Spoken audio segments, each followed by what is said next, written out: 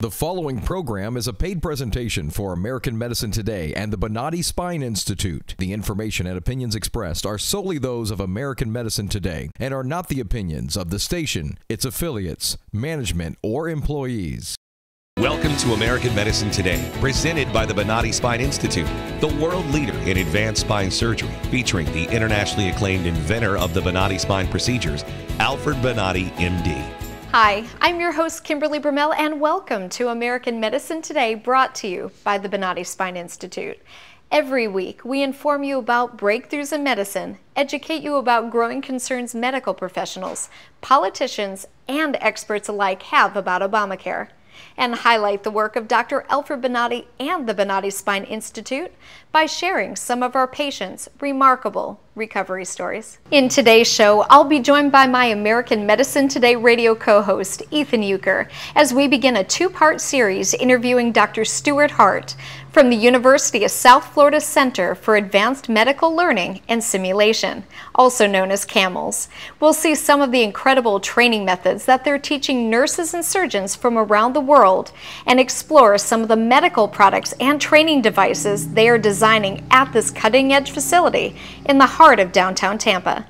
Next, we'll hear from a patient who received the exclusive and patented Bonati spine procedures from world-renowned orthopedic surgeon and founder of the Bonati Spine Institute, Dr. Alfred Bonati, in our Back to Life segment. Then I'll speak with Dr. Bonati about the continuing troubles with Obamacare and why innovators in medicine, like himself, will become harder to find the longer the so-called Affordable Health Care Act remains intact. Alongside me is radio program executive producer and co-host of American Medicine Today, Ethan Euchre. Thanks, Kimberly. Every Saturday at noon, we are joined by interesting guests who shed light on the growing concerns many Americans have about their medical care. The patented Bonati spine procedures are leading the way in minimally invasive spine surgery exclusively performed at the Bonati Spine Institute. And a recent seven and a half year survey shows a patient satisfaction rate of 98.75%. Dr. Bonati dramatically changed the way conventional spine surgery is performed. And following in Dr. Bonati's quest to find medical experts who are pushing beyond conventional methods of medicine, today we'll speak with Dr. Stuart Hart. He's from the University of South Florida's Center for Advanced Medical Learning and Simulation, and Kimberly and I had the chance to receive a tour of this world-renowned, one-of-a-kind medical training facility. We're here in Tampa with Dr. Stuart Hart, Medical Director of Tampa Bay Center for Research and Innovation Center at CAMLS in Tampa. So, Dr. Hart, why don't you explain to everyone watching what CAMLS is and what you do. So CAMLS is a world-class medical facility for training, for training all healthcare providers. We are the largest freestanding healthcare education training and simulation center in the country, mm -hmm. and our goal is about training the next generation, next generation healthcare providers. How can we improve healthcare through training? What I liked is your uh, analogy that CAMLS is sort of the Taj Mahal of learning centers for, for medical students around the country. Um, it's 90,000 square feet, correct? Correct. And what sort of things are you, uh, we have yet to be shown around here, mm -hmm. so um, what sort of things are we going to check out today? So we're going to start with the Surgical Interventional Training Center, which is 39 high-end surgical skill stations, mm -hmm. where we can immerse learners in any type of operating room or procedural room environment. And so we have all the latest technology to train the next generation of healthcare providers. The thing I found interesting was the fact that everything is so hands-on, it really sparks that creativity and innovation. And quite honestly, I personally can't wait to see the uh, synthetic cadaver. That's one that impresses me. And that and the 3D printer. The 3D printer oh. you have, and actually I know Kimberly was all excited about this. We're actually going to gown up yes. and sort of uh, have Dr. Hart run us through I a guess simulation. a simulation, correct? We're going to have you perform surgery today. I can't Love wait. It. So these two rooms are really one of a kind. So this is our trauma operating room. And we work with the military to develop this. And we do a lot of training, both trauma type training, do military type training too. But it's a, it, it's a fully functional operating room, so it's a great room to test medical devices because we have so many cameras and microphones embedded throughout. It, it's a great environment to test new devices, new technologies, but also perform team training. And we actually put teams through very stressful operating room situations here, and we test out their skills to be able to become leaders and work together in an operating room environment. Are there any sort of in, uh, innovations that were developed here at CAMLS that you could tell us about? We did a, a couple things when we, we developed this room that are very unique to this room. One is you'll see the ambient experience. So the ambient lighting, we actually can change the intensity of the room. We can change the heat, the temperature of the room, make it very hot and uncomfortable.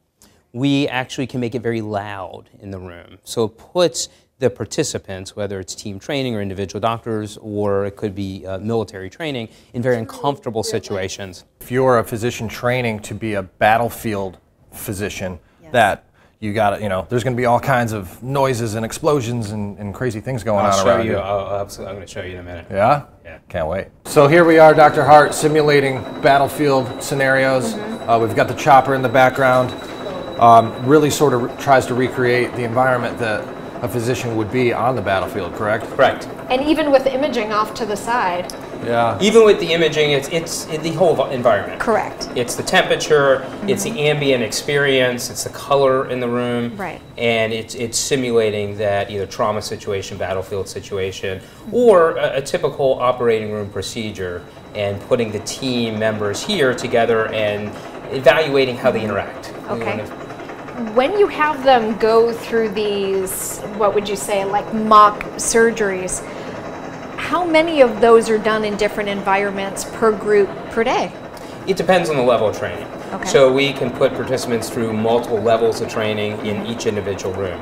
But it depends on the uh, level of the healthcare provider Okay. and what the goal of the exercise training course is. It really makes you kind of respect what, does, what- people go through out in the field. You know, as, as a day. layperson who, ha, you know, has never been in the medical field, you really kind of think, man, I can't imagine this being an actual scenario out in the desert, under the sun, bullets flying, choppers flying. It's it's got to be incredible. Well, here's the thing even at a school that would be teaching these medical uh, procedures, as far as seeing, um, and forgive me if it's not the right thing, if you just call it a dummy, so to speak.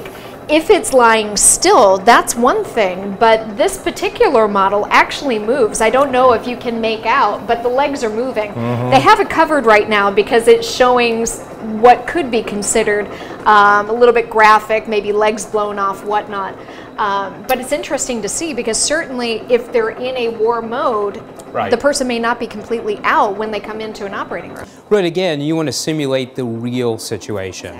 And so by using these type of really advanced models that have a lot of mechanics built into them, you again immerse that participant in that particular situation. They forget they're in a training center. They actually feel like they're in the field, they're in the operating room, taking care of this patient. And that's really the environment that we want to create. So, Dr. Hart, where are we now with all these images of, if I'm correct, that's a heart, correct? That's correct. Okay. So we're in the hybrid training suite, which combines a fully functional radiology suite with a fully functional operating room. And so this is the future of operating rooms where you bring the radiology suite and, and merge it with the operating room.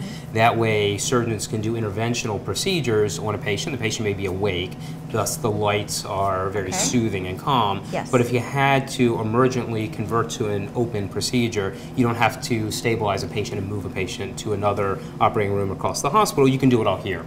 You can put the patient to sleep, the teams rotate out, the surgical team comes in, and you can operate on the patient right here. And so it, it decreases the time to perform essentially life saving surgeries on a patient. And actual surgeries are or are not performed here, being that it's a school. You don't have actual patients coming in. Not real correct? patients, but Yeah. training procedures. So we Okay. have realistic training scenarios where we put entire teams. So Hmm. what the, the participants that train here are part of a team, an operating room team, and they come in and they simulate the, the full procedure here, going from an interventional procedure all the way to an open procedure.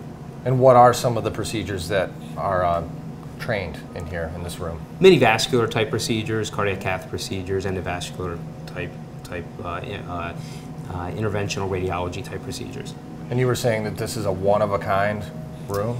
Yeah, this is a fully functional suite within a training center. So this is really of a one-of-a-kind training training uh, suite. Now, I asked you out in the hall um, with CAMLS. You guys have been open since 2012. Correct. But the innovation behind this took how long? It took uh, approximately six years to actually develop the center, then about a year to build the center. So we've been thinking in Tampa about CAMLS for a long time. Yeah. That is unbelievable. And how large is this building? You said 90,000 square feet. 90,000. Ooh, I wish I just could get my hands on some of this, and Well- you actually said we're going to. Yes, we're going to walk around the All whole right. side. So uh, Maud is training with us. He is our minimally invasive surgical fellow, and he's going to show you some of our high fidelity simulators that we have. In fact, one of them we actually developed here at CAMLS, the world's first high fidelity laparoscopic hysterectomy simulator. So this is a hysterectomy, and we can zoom in and out, and we can also move the uterus. So we're looking at the uterus right now. That's the uterus with the tubes and ovaries. Okay. And so the goal of this procedure is to take the uterus out. Whoa. So you can see the manipulation for the uterus. We can manipulate it in multiple different directions. And we do this quite routinely for surgery. And so you are controlling the direction of the uterus, or Exactly. he is? Okay. Through this interface that was developed for the simulator. Hmm. So you can see. And then we will show you how to perform a hysterectomy. Unless one of you would like to be a surgeon. Kimberly, you want to be a surgeon? Absolutely. Oh, wow. It Okay. has full haptic feedback, so you actually feel the tissue The that you're Okay. operating on. Okay, so you can go ahead and place the instruments in. We'll just select Okay. an instrument for you. This- So actually move the tool out and Okay. then back in. Let's see, Okay. let's move this out and then back in. There you go. Okay. Now you can operate. So you can go Oh, ahead, sure. feel the tissue. You can feel how lifelike it is. So you can feel the resistance. Okay.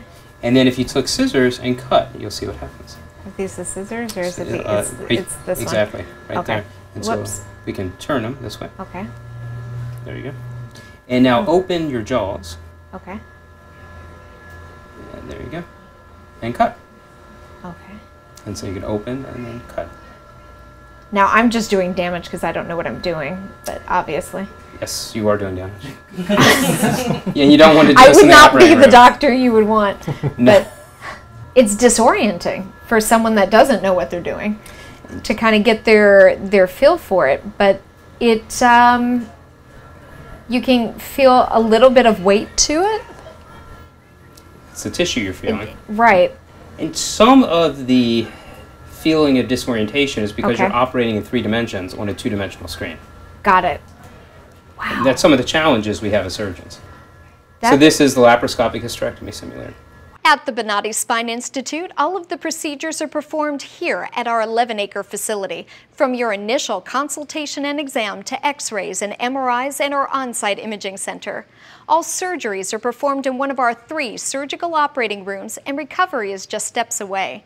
This allows the surgeons more access to their patients and allows you to go home the same day.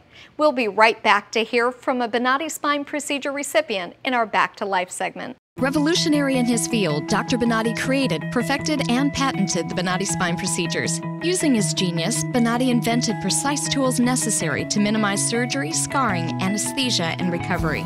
So successful are the Bonati spine procedures, they consistently reflect over 94% patient satisfaction. 45,000 successful procedures have been performed exclusively at our location. Nearly half our patients suffer from failed back and neck surgeries at other facilities. Bonati succeeds where others fail.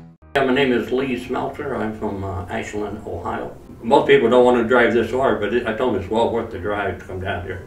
1,100 miles from Ohio to come down here and, uh, and get this kind of relief and get treated like uh, royalty. You know, people, people are treat you good down here. Well, I went to another place one time at the- for a check on, on my feet. They wanted to cut me open about seven inches in the lower back on my lower back, and I said, no way, I'm not going to be cut open seven. They want to put metal plates in there and all kinds of stuff. And and really, I have a friend that went through that, and he's still not. He still has a lot of problems. So I said, I'm going a different way. I'm going to do the laser surgery. And then uh, I met a man that in Ashland had already been down here. So I went. He said, "You better go down and get yourself taken care of." So I went. To, that's why I ended up back down here and and down here at Benigni to begin with. I've been down here several times before, but this particular time I was down here for surgery. I've had a lot of problems with numbness in my feet. That numbness just drove me nuts on the bottom of your feet. Seems like you can't hold, you can't walk real good. Your balance is off, and that's what they were looking at this time. Down in the lower level of my back, the L three and four. Uh, that's what they worked on this time to try to get alleviate that numbness. And there was a big spot down there where it was pinching. Uh, I had spinal stenosis, so it was pinching some nerves in there and causing me a lot of problems. they're going to get a good prognosis. Uh, if they have uh, pinched nerve pain, uh, there are good chances that we can uh, eliminate the pain or make it tolerable so that they can go through normal activities of daily living. People don't come here uh, to be patted on the head or to be given medicine. People come here because they have pain which is truly affecting the quality of their life. Being able to have a positive uh, impact on that pain is uh, uh, very rewarding. And he took that out, and I could tell a whole lot of difference even today with the numbness in the bottom of my feet. It's it's not as much as there. And that particular type of surgery, it takes a little longer for it to, for you to feel the full effect of it. So, but I felt quite a bit just yesterday from the surgery. And then as time goes along, my feet hopefully will get to feeling better and better. So it, it, they've done just great things down here. I'd recommend them to anybody. And I have already back in Ohio. The patients get up, there's so little recovery time. They are happy, they are pain free. That's the key. And they, they get their lives back. So it's been a great experience and, and, and got rid of a lot of the feet pain too. I'd rather be cut one inch than be cut seven inches and, because you can walk in one day, have the surgery, and get relief and walk right back out same day. You're not in overnight or in the hospital for a long period of time. So that, that was pretty good too. That's pretty amazing that that kind of stuff can happen. Well, it's uh, amazing to see somebody who is sick and is without hope and has uh, situations where uh, they were already told that nothing can be done and we can correct that.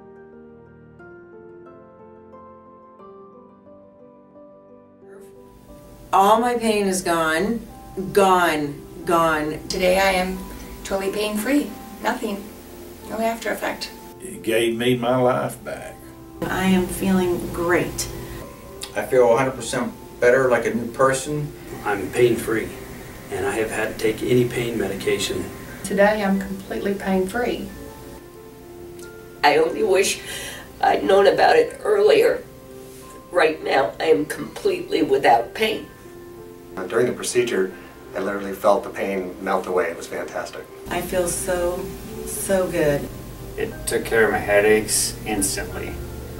It's incredible. It's really incredible. Today I am pain free for the first time in over a year, and it is so awesome. It's just wonderful. I feel fantastic. Sitting here in this office right now, pain free, eager to enjoy the rest of my life. It is just absolutely amazing. Today I feel absolutely fantastic. It's just incredible the relief I feel right now. So I'm hoping to be climbing hills in a few weeks. When I first met him, uh, and he reviewed the, uh, you know, the, the MRI, and, and was while reviewing the MRI was saying, you have a problem here that gives you pain. It should have pain here. And it's like, well, exactly. Well, I've had a lot of people ask me uh, about my back. Um, and when I explained to them that I'm virtually pain free, uh, I have recommended since my surgery three people to Dr. Bonati. And my comment to them was, it worked for me. You need at least a consult. Get an MRI, get a consult.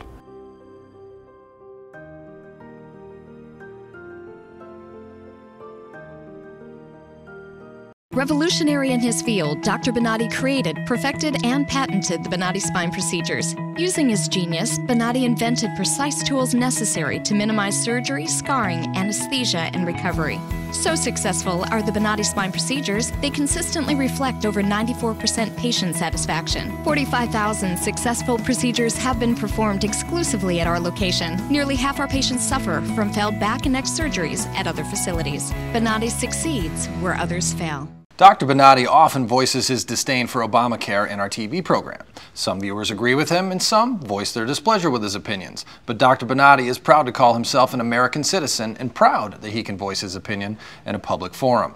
He doesn't do this for fame or recognition, but to try and educate viewers about the trouble he's seen with similar types of medical systems in countries he's lived in and witnessed firsthand. Some of his goals in producing American medicine today are to introduce new medical technologies that can change the way we view our medical care and to see the limitless possibilities that exist when those individuals are given the opportunity to thrive. He feels Obamacare will limit the medical teachers like CAMLS we highlighted today, the innovators we showcase, and specialized surgeons like Dr. Bonati that are necessary to keep America the best medical system in the world. So, Dr. Bonati, both Ethan and myself, we got to tour CAMLS in Tampa. And what was so amazing about their program was the education process that they had, these realistic uh, type environment to train in. Why do you think that's so important? This type of a, the innovation is incredible helpful. It is, is helpful not only because allowed to train doctors in surgery, uh, nurses in, in, in healthcare, uh, but the, the, the professional is being changed with a challenge. Every time that you do, it's like it is a computer. Right. So because it's a computer, when you give one step, and if you skip from A to C, the computer is not going to let you do that. Right. So you will you will be forced to learn the B, even if you don't understand or you don't know it. So the training allowed you to be more perfect and they allow the student to be more active uh, and practically create his own uh, program or, or act independent and then the instructions are being given by the teacher through a little distance. But is is a a one in one teaching type of a product that will not only create a better knowledge in those students, but they can go from A to Z. Now, with the other type of programs, they can go A to Z, but skip a lot of letters in between. And in your practice, when, when you become now a full uh, bloom physician and you are treating a patient, those letters that you skip are the ones that are going to make you fail. So if you get the students to have the whole alphabet, then they're going to remember that. They're going to they're going to they're going to remember that they're, the, those those those elements there are what they're making more successful. And speaking of success, they actually have a room where they have actors come in um, with symptoms and even um, doctors. They could be retired or actually practicing, and they come in with a quote unquote ailment and they actually walk them through that customer service uh, doctor patient um, scenario so that it teaches them and it doesn't bypass you know some of those uh, letters so you really do get that well-rounded education yeah. Yeah. well technology is amazing uh, it's just incredible to see today five-year-old uh, kid that grabs the computers and can teach you uh, how to manage that computer. So imagine the physicians from the future that they are being trained with this type of technology, they are going to be far better and they're going to be far more effective in what they do. Do you think that innovation is going to continue on that path given well, this current administration that we have in charge of the government? If Obama put his hands on this, then God bless us, we, we have no results. Uh, but he already did. Um, he, with the idea to get taxes to pay his mistakes, um, he's taxing the innovation of uh, of new instrumentations or advances in medicine. Well, the major trouble is when that happens, uh, the individuals that they are directing these companies are going to switch to in other enterprises. They are going to go to computer or things like that, and they are going to bypass medicine. So the product of this new innovation, these new physicians, that they can create things like CAMLS, they are not going to exist. Uh, because if it's no money there, these things can't happen. And uh, is the product of medicine and why this medicine in the United States is the best is because two things. One is because the innovation of the physicians are being supervised by companies that they want to create this product for their own economical satisfaction. So they support the physician to create this. And the second thing is the fact that the innovations in this country are being practically um, paid by, by private enterprises. And then these donations and these, uh, these uh, opportunities created by the, the, the private uh, um, corporations and citizens uh, allowed to have the best medicine in the world.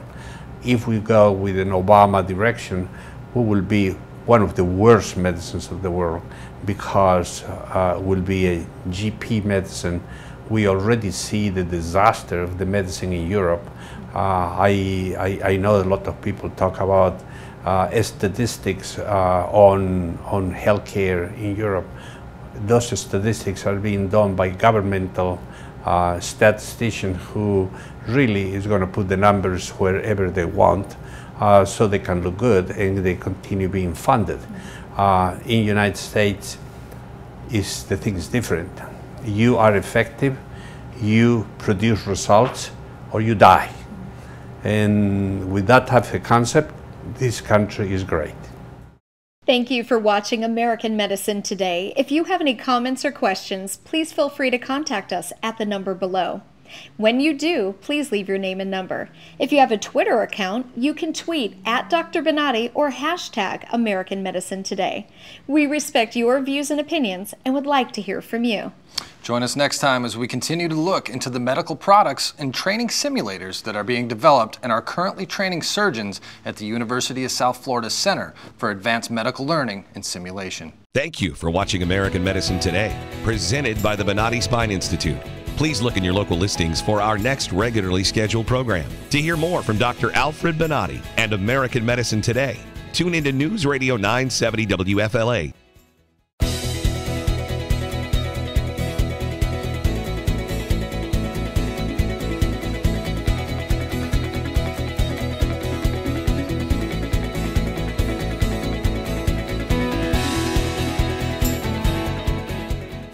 Revolutionary in his field, Dr. Bonati created, perfected, and patented the Bonati spine procedures. Using his genius, Bonati invented precise tools necessary to minimize surgery, scarring, anesthesia, and recovery. So successful are the Bonati spine procedures, they consistently reflect over 94% patient satisfaction. 45,000 successful procedures have been performed exclusively at our location. Nearly half our patients suffer from failed back and neck surgeries at other facilities. Bonati succeeds where others fail. The proceeding program is a paid presentation for American Medicine Today and the Bonati Spine Institute. The information and opinions expressed are solely those of American Medicine Today and are not the opinions of the station, its affiliates, management, or employees.